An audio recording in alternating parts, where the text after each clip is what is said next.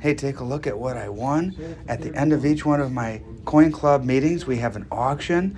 And uh, speaking of my Coin Club, we're putting on a show. But anyway, I picked up, and you can kind of hear the auction in the background.